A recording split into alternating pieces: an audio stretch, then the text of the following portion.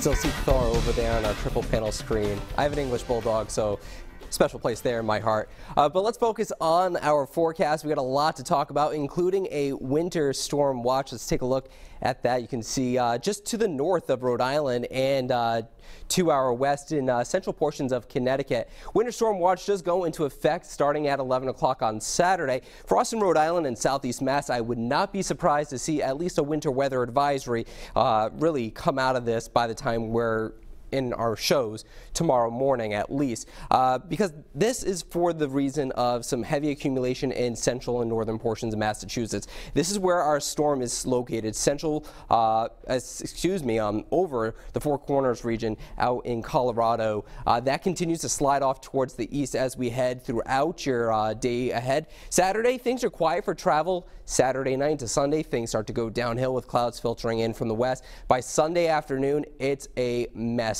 no matter where you're going to go. Uh, so let's take a look. We were talking earlier about the European and the American models. Now they were really good with the timing, showing that the onstart of the rain and precip coming in around noon to 2 o'clock. The European model favoring a bit of a colder trend, indicating a better chance for more snow north with a few light wintry mixed showers south and east. Throughout the day, we continue with snow before warmer air surges back in.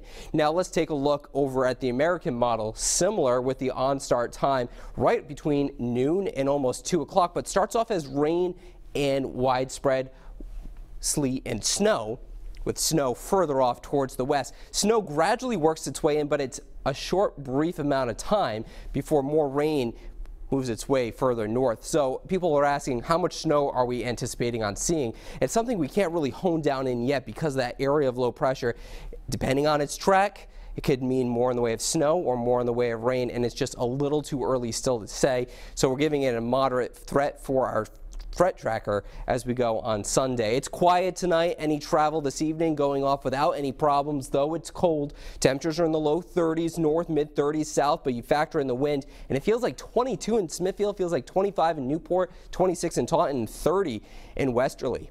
Heading throughout the overnight hours, a few thin, wispy clouds. They give way to clear skies as we head into your Saturday. Saturday, almost a carbon copy of what we saw today, except for it's going to be a little bit colder. Pascoag highs are going to only cry, uh, excuse me, climb into about the middle part of the 30s as we head into the afternoon hours further south, closing in at 40.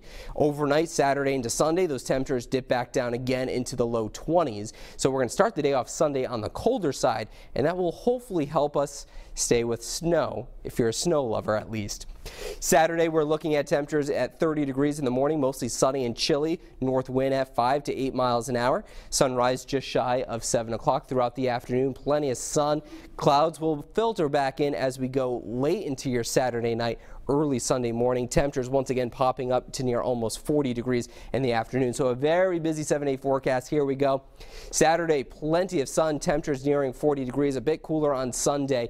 This first half of the day isn't terrible after 11, between 2, that's when we start to see things go downhill. Monday, we're battling back and forth with snow and rain once again before things taper off on Tuesday. Second half of the work week, we're looking at some pretty quiet weather as high pressure builds right back on in. Things will be a bit on the cooler side as well this week, with temperatures only climbing into about the mid 40s for the second half. Now for the latest weather updates around the clock, download the Pinpoint Weather 12 app on your smartphone and tablets. There you can track the radar and see the detailed seven day forecast and much more. Uh, definitely with this uh, storm situation, you know, myself and the rest of the weather team will be constantly updating our media platforms. That way we have the latest details in the palm of your hand.